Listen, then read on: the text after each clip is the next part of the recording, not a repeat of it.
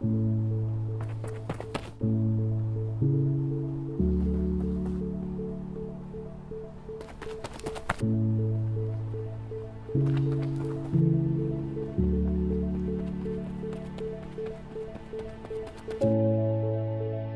don't like jogging. I do run though. I sprint, so my thoughts make room for the near dying of exhaustion. What's up? It's getting bad. We start filming in two days, and all I have is this random guy running. I mean, why is he even running? Is he a criminal of some sorts and running away from the cops? No, not really. I feel that he's rather running from himself. If that makes sense. Is he sad perhaps? Well, he could be. Well, he might have lost a family member. Or maybe he got fired. Or he could have broken up with his girlfriend. Oh, that's good. That's very good. You're welcome. Thank you, Joe.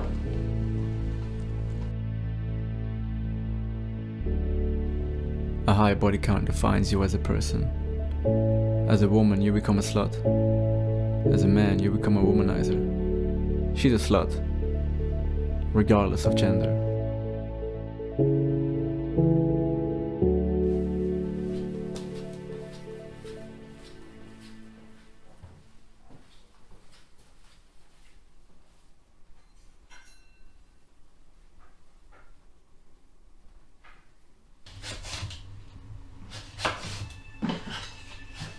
Come hither and square, so I can find it out thy true worthiness.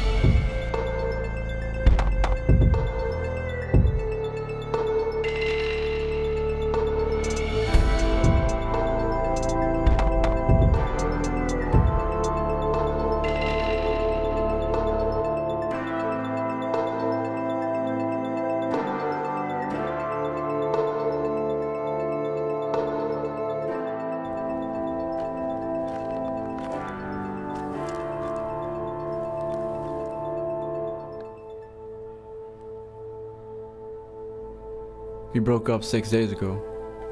Every night, I've picked up a stone, went to her house and threw that stone against her bedroom window. Every night, the stone gets bigger, until she answers. After the seventh night, the glass will shatter.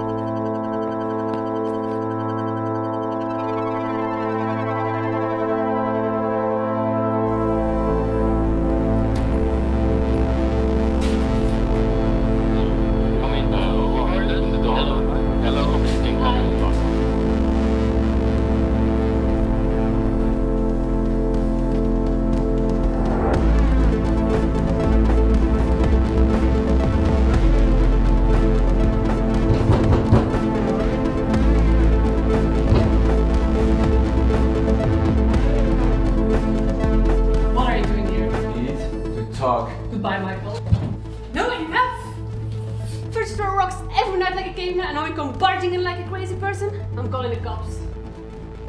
So you did see me. Why did we break up?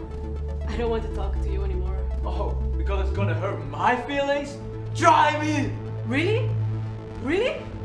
Okay, if you want to play it like this, it's because you are emotionally unavailable. You never ask how my day went. You only care about yourself. You won't even hold hands in public. Oh, and you're only together for the sex. Well, I'm sorry. I'm good in bed! You want me to continue? It's not because you like some obscure cult book that you are special in any kind of way. You are just so obviously mainstream. Oh, and you know what?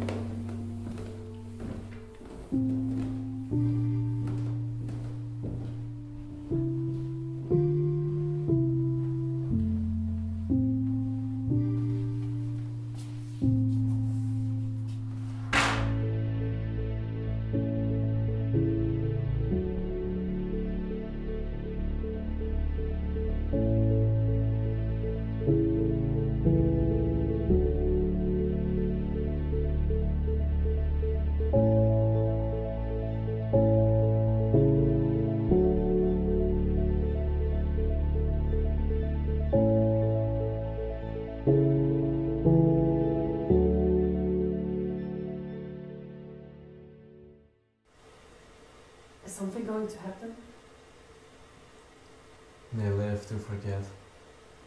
So probably that.